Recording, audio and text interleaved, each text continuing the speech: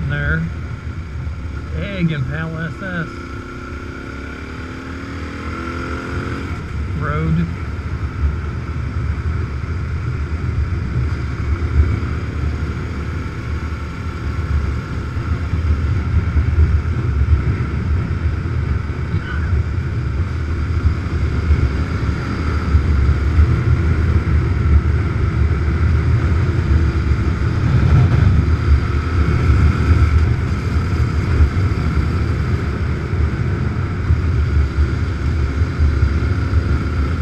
Rusty guardrail, you'll see it for the next 25, 30 miles.